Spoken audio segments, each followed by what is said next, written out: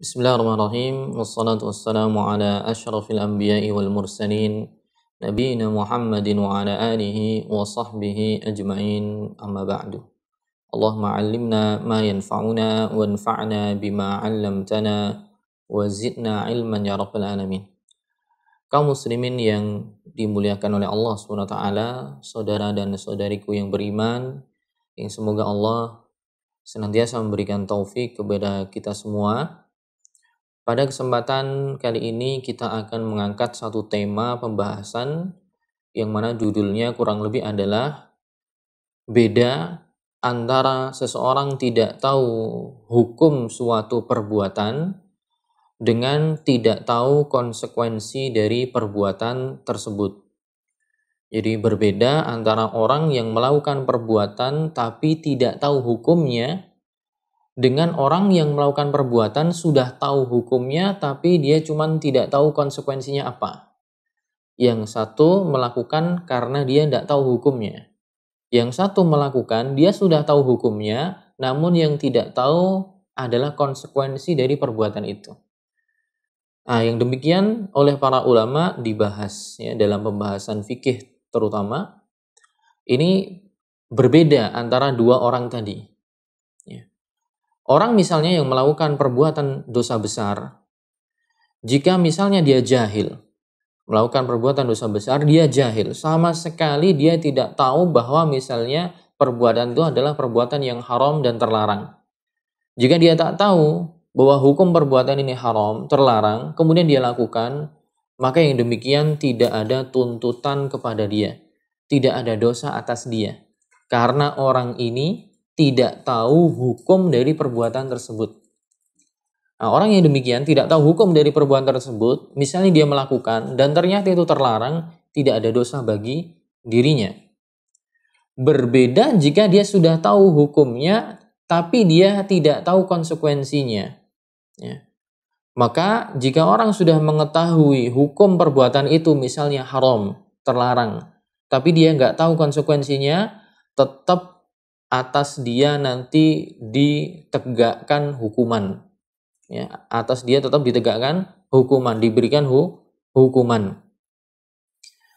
Argumen atau dalil dari dari pembagian ini apa? Dalilnya adalah Eh, kejadian di zaman Nabi SAW ada seorang sahabat namanya Ma'iz. Nah, orang ini, sahabat ini berzina. Dia sebenarnya sudah tahu bahwa hukum zina haram. Namun sahabat Ma'iz ini, dia tidak tahu konsekuensi bahwa ketika dia berzina, konsekuensinya kalau sudah pernah menikah maka dirajam. Ketidaktahuan dia bahwa konsekuensi berzina bagi orang yang pernah menikah akan dirajam, ini kemudian tidak memberikan uzur bagi pelakunya agar tidak dirajam. Tetap dilaksanakan rajam, sebagaimana yang terjadi di zaman Nabi SAW kepada sahabat ini. Dia hukumnya udah tahu zina haram, tapi dia tidak tahu konsekuensinya. Ini dalil pertama.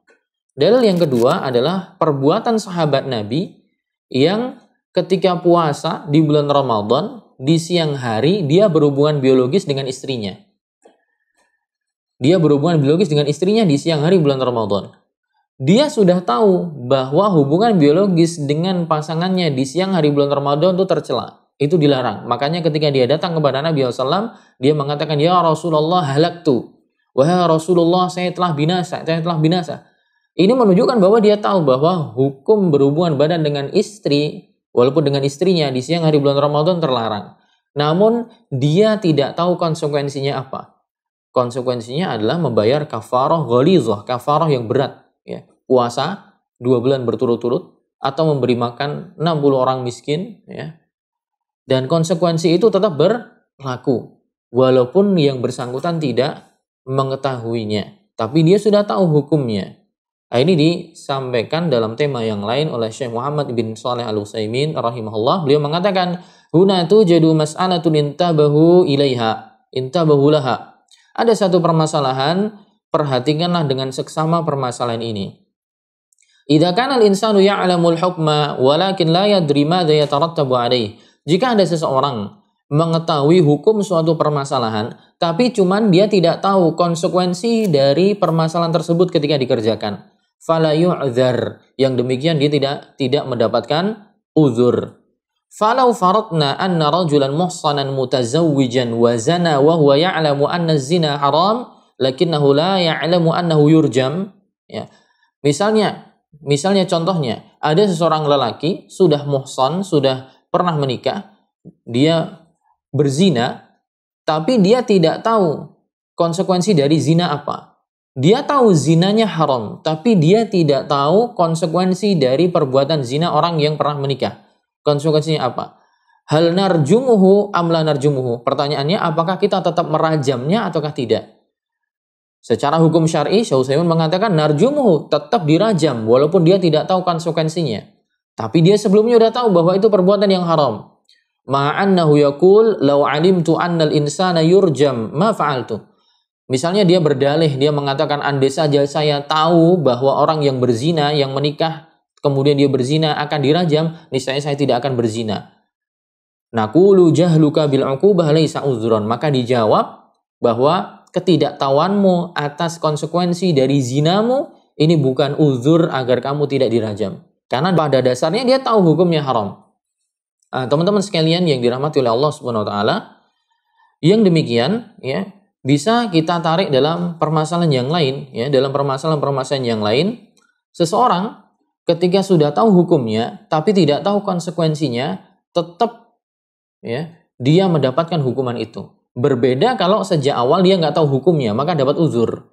Misalnya ada orang yang siang hari bulan Ramadan berhubungan badan dengan istrinya. Kemudian ditanya, kenapa kamu berhubungan badan di siang hari? Oh mohon maaf, saya tidak tahu.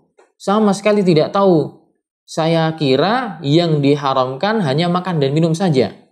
Eh ternyata berhubungan badan juga diharamkan. Untuk yang demikian maka dia mendapatkan uzur dan tidak disuruh membayar kafarah. Kenapa? Karena dari awal dia nggak tahu hukumnya. Beda kalau yang sudah tahu hukumnya tapi nggak tahu konsekuensinya. Ini sebagaimana dijelaskan oleh Syekh Utsaimin rahimahullah taala. Juga kita tarik dalam masalah yang lain, dalam masalah talak misalnya. Dalam masalah talak. Orang yang tahu bahwa seseorang ketika mengucapkan ini misalnya mengucapkan cerai, mengucapkan kamu saya talak, kamu saya pegat, dia tahu bahwa itu jatuh talak.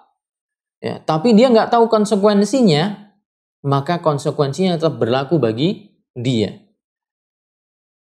Nah, misalnya ada orang, ya, orang sudah mentalak istrinya talak satu, dirujuk, kemudian mentalak lagi talak dua, kemudian dirujuk, rujuk lagi kembali lagi. Nah, kemudian setelah dirujuk, orang ini beranggapan.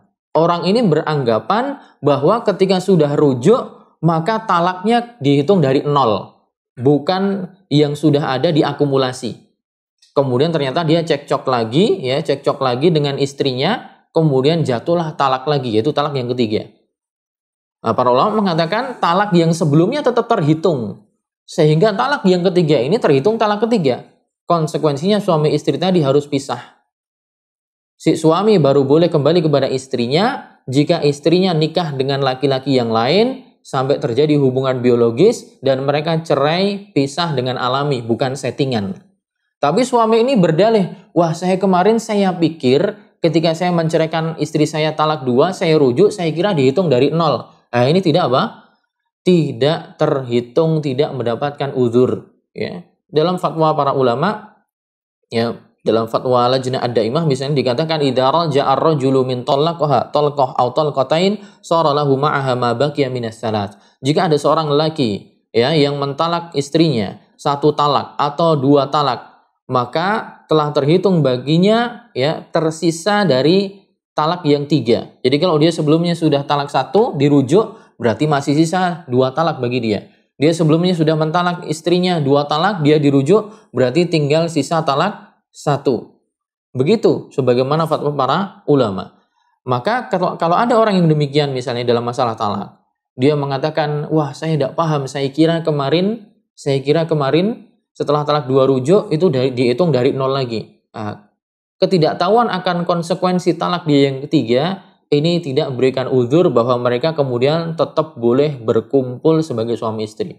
Harus dipisahkan, harus dipisahkan karena mereka sudah bukan suami istri lagi ya talaknya talak bain ya talak bain bainunah kubro yang harus dipisahkan dan tidak boleh kembali lagi kecuali si istri nikah dengan laki-laki yang lain. Dan ini disebutkan dalam fatwa dari uh, markas fatwa Islam Web dari Doha Qatar. Dikatakan fal jahilu bi hukmi talak al alim bi makna seorang yang jahil dengan hukum talak ya dia dia jahil dengan hukum talak tapi dia paham maknanya, tapi dia tahu paham bahwa itu adalah talak, ya, ya utalakuhu.